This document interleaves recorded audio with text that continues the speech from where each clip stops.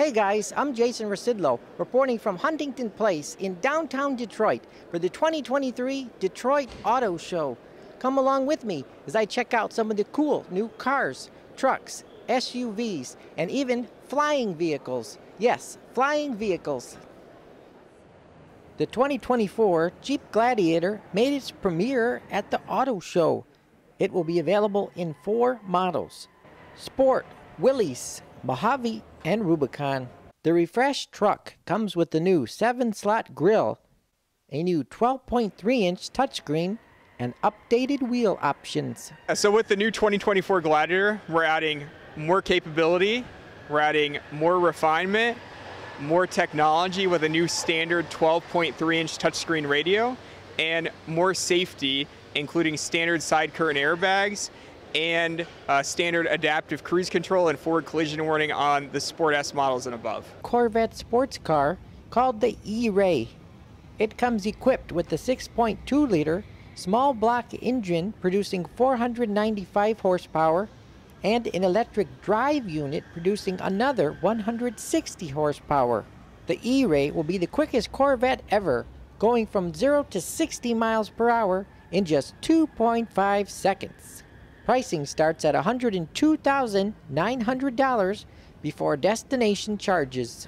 Startup company Joule Labs told me more about their robotic arm enabled charging station system for autonomous vehicles. Their solution is perfect for rental cars and fleets, such as delivery vehicles. These fast DC charging cables are extremely hard and they are very heavy. So this is a sort of ideal situation uh, for ADA charging. But this solution is actually designed for um, automated charging for uh, autonomous vehicles, like either autonomous uh, uh, uh ride sharing uh, services like Waymo or Cruise. it's ideal for automating charging for car rental companies. You know, car rental companies are electrifying their fleet, and then you know if you have to move a couple hundred vehicles per day, uh, you know, you have to charge them. It's actually quite simple. You know, from your mobile app, you know, you would initiate the charge. So operation is very smooth, predictable, and 100% reliable. So, you know, as you can see now, it's actually inserting the charging connector into charging inlet on the car. You know, it's going to charge it obviously.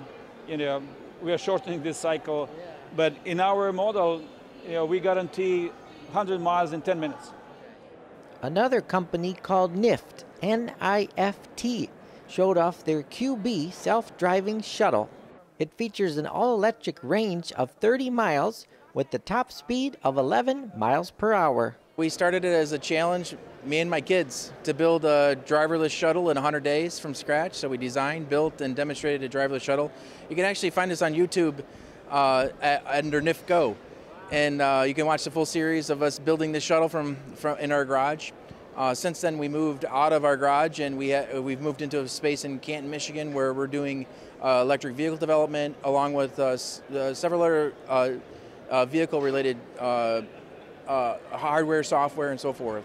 So this is an electric motor. Actually, this was actually built from a, a golf cart chassis. We've, we've re- restructured the chassis to actually fit this, and then we we uh, we outfitted with uh, sensors and uh, actuators to actually be able to to drive it autonomously, um, or with an Xbox controller. Other cool vehicles we spotted include the Volkswagen ID Buzz electric three-row microbus, along with the Rivian R1T and R1S electric vehicles.